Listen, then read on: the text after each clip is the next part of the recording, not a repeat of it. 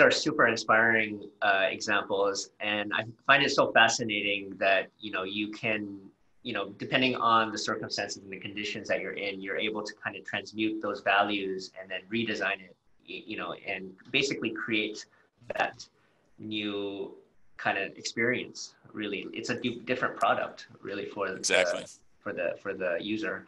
Um, so how can we apply this? What are some concrete steps that we can take immediately?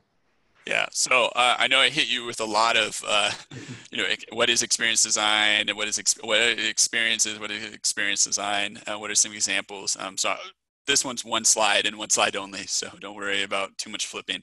Um, here are three things that I think are pretty easy to, well, uh, a good place to start.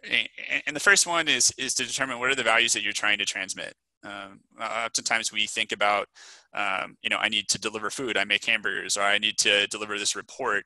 Um, it, it's a nice thing to step back and say, like, all right, our our mission is to be smart, innovative, compassionate. All right, how do I infuse those values into the product or the service or the moment, uh, you know, that I need to deliver? Um, it takes a little bit more time and effort, um, but what you realize is that uh, that that is possible. And I think one of the, the interesting examples for me of this, when I a simple, very simple example and very relevant to to um, the current moment with COVID. You've probably been a lot of places now where you have to you know wash your hands, and there's a lot of you know different squeeze bottles of uh, uh sanitizer. Um, you know, and, and safe and safety and health have taken like, you know, priority seat in a lot of people, uh, organizational values and parts of the experience. Problem is they get slapped on kind of at the front or at the back. Um, you know, we're all rushing to just make things safe and health, which is great. Um, but over time, we want to ask, what is that doing to the experience? Uh, in restaurants, it, it, it's really killing it. You see these future of restaurant uh, articles that say, "Here's the future of restaurants. We're all wearing masks and distance, and you know it's all sanitized." And I say, that's not the future because that's not a future where anyone's going to go out to a restaurant. That's a totally different experience. And if that's the experience, I want to stay home right? And so what we need to do is we need to figure out how do we maintain that safety and health, but evolve it into an experience that's still extraordinary, exceptional, or makes me want to leave my house.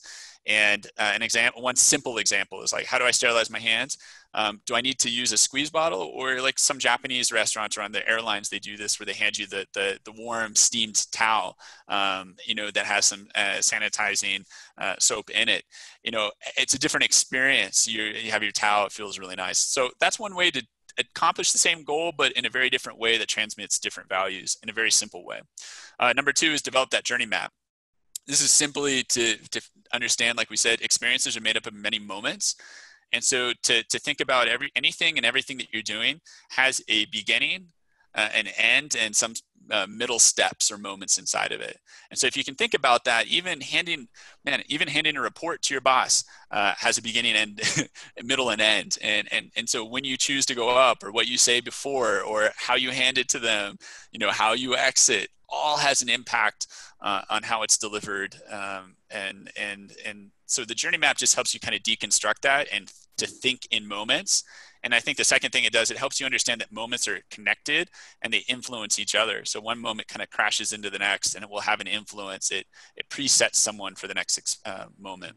And the third tool is uh, design thinking, which we're not covering a whole lot here, but to say that um, when it comes to how we design these moments, design thinking is a great tool because design thinking says two things. One, there's more than one solution to just about every single problem.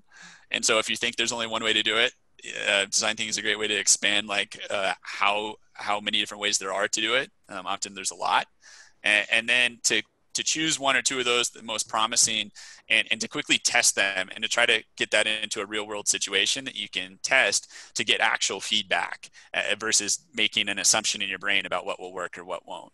Um, and so yeah, so I think I'll stop there, but I think those are three ways to get started um, right away.